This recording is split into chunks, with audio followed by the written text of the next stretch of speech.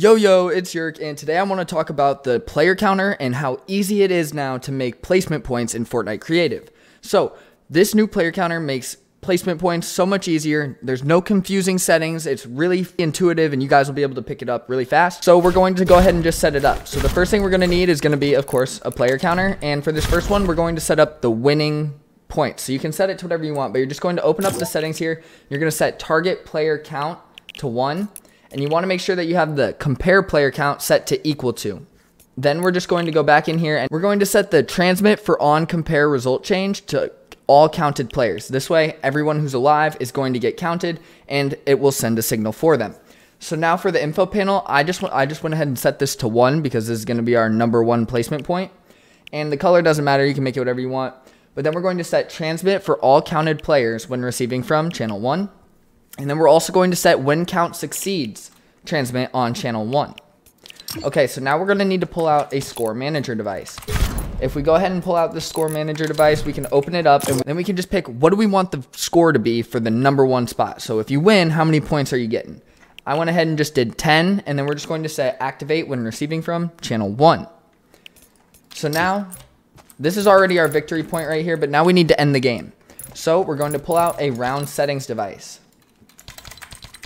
So we pull out our round settings device and we are just going to set end round when receiving from channel 4. Now, if you're going to use more placement points than just first, third, and fifth, then you're going to want to set this to like channel 5 or just whatever channel you don't use. But I set it here to 4 and then after that, we're going to need a trigger. Pull out your trigger and all we're going to do is set a delay of like 3 seconds. Then we're going to set trigger when receiving from channel 1 and when triggered, transmit on channel 4. This way, when this triggers and says there's one player alive, it will then delay, so gives them long enough to get the points, and then the round will end because it's going to transmit on the channel 4.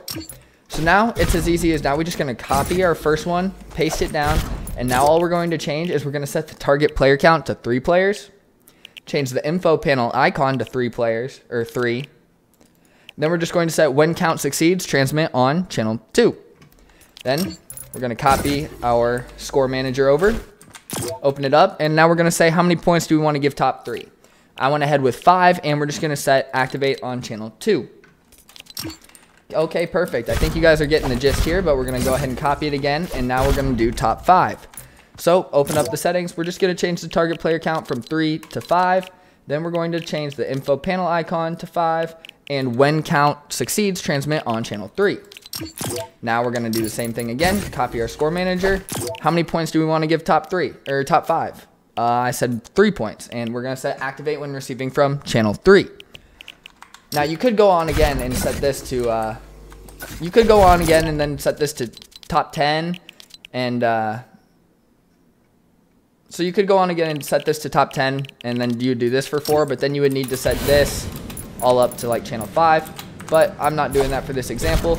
And because I don't have all these players, uh, enough players in here with me, I'm going to go ahead and just turn on compare it game start. This will show you guys that I do get the points, but here now, but as you guys can see, once the game starts, we are going to have 10 points because it thinks we won and now the game is about to end. Bam, just like that. Easiest placement point system ever all thanks to the new player counter device. If you guys enjoyed this video, do me a favor, drop a like, hit subscribe, do whatever you want to do and all that good stuff. If you want to support me, you can use code YERKYT in the item shop. But that is all I have for this one. Thank you all so much for watching, and as always, stay up.